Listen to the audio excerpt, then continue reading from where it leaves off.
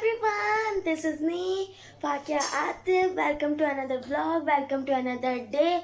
तो आज guys vlog बहुत स्पेशल व्लॉग है बिकॉज़ आज है पहला रोज़ा यानी कि पहली सैरी एंड अभी चार बज रहे हैं अभी हम लोगों को बस जल्दी से जाना है सैरी करने के लिए एक्चुअली रमज़ान रमज़ान मतलब एक बहुत अहम महीना होता है आप सबके लिए भी और हमारे लिए भी रमज़ान एक बहुत मतलब अहम महीना होता है। एंड और और अब वैसे आज पहला रोज़ा नहीं था बट दस बजे मैं सो गई थी। एंड फिर मुझे बाद में अभी अभी मैं, बाबा ने मुझे बताया कि आज पहली सहरी है तो मैंने बोला, चलो आज के दिन जो है वो उठ जाती हूँ। क्योंकि मैं उठी थी कल। हाँ मैं ऐसी उठी थी तो फिर मैंने देखा कि आज बाबा ने मुझे बताया कि इससे पहली रोज़ी हुई। मैं सोच थी मम्मा खाना बना रही हैं। तो फिर वो मुझे लगा कि आज पहली सैरी है। तो मैं आपको अब सारी चीज़ें दिखाती हूँ। एंड इस दफ़ा की मैं आपको अपनी पूरी रमज़ान की रूटीन एवरीथिंग मैं रमज़ान में क्या क्या करती हूँ सहरी में हम लोग क्या खाते क्या नहीं खाते तो वो मैं आपको साथ आपको सब सब कुछ शेयर करूँगी। एंड uh, अभी जो है वो हम लोग जल्दी से जा रहे हैं डस्टर लगाने के लिए क्योंकि बहुत लेट हो गई है। तो पहले मैं सारा डस्टर लगाती हूँ उसके बाद मैं आपको सारी चीज़ें दिखाऊँगी। सो so, ये रही फेनी वगैरह एंड ये रही फेनी एंड यहाँ पर चाय वगैरह ये सारी चीज़ें हैं। एंड बाहर जो है वो मतलब इमाम साहब काली साहब मस्जिद में जो है वो मतलब दुआएँ वगैरह दुआएँ वगैरह मतलब हाँ दुआएँ मोस्ट फेवरेट पार्ट होता है, वो फेनी होता है। बिकॉज़ आई लव दिस क्योंकि वैसे तो ये खाने को मिलती है मतलब मैं सैरी में ही खाती हूँ बिकॉज़ आई लव इट ये मेरी फेवरेट है एंड इस साड़ी का मैं, भी मैं आपको बताऊँगी कि साड़ी का मुझे क्या क्या पसंद है। साड़ी का भी ब्लॉग आएगा तो उसके लिए भी आप लोग चेकिंग है ना? एंड मतलब ऐसे इसी पूरे ब्लॉग में ये मैं साड़ी का ही बनाऊँगी इसलिए आप एंड हाँ तो अभी जो हम करेंगे सैलरी एंड चलो। रोज़े वालों सैरी का टाइम हो गया है सैरी कर लीजिए। मतलब हाँ, तो चलो मैं जा रही हूँ सैरी करने के लिए तो आ, मैं आपको दिखा देती हूँ में क्या क्या कर है।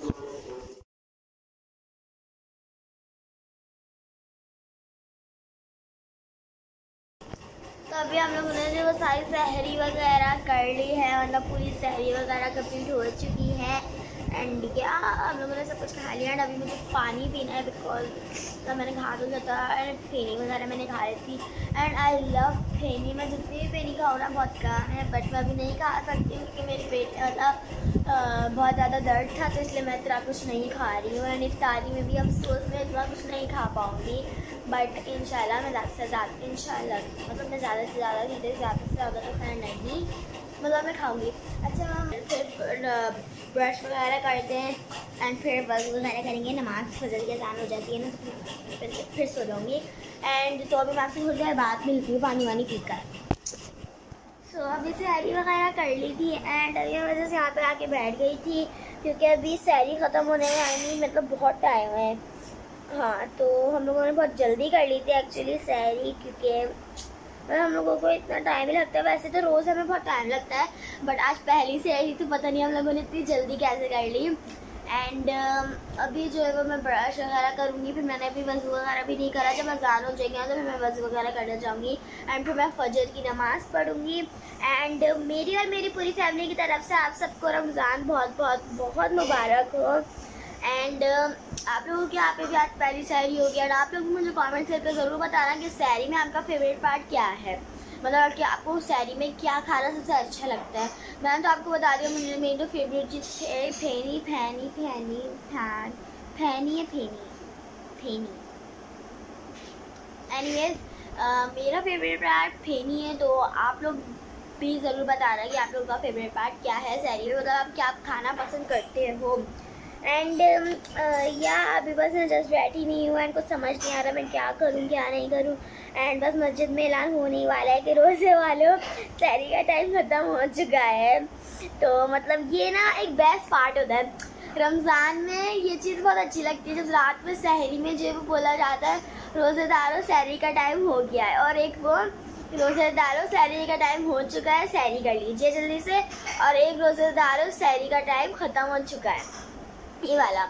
और इफ्तारी में जो है, वो जो टू करके जो सायरन बजता है ना, वो बहुत अच्छा लगता है।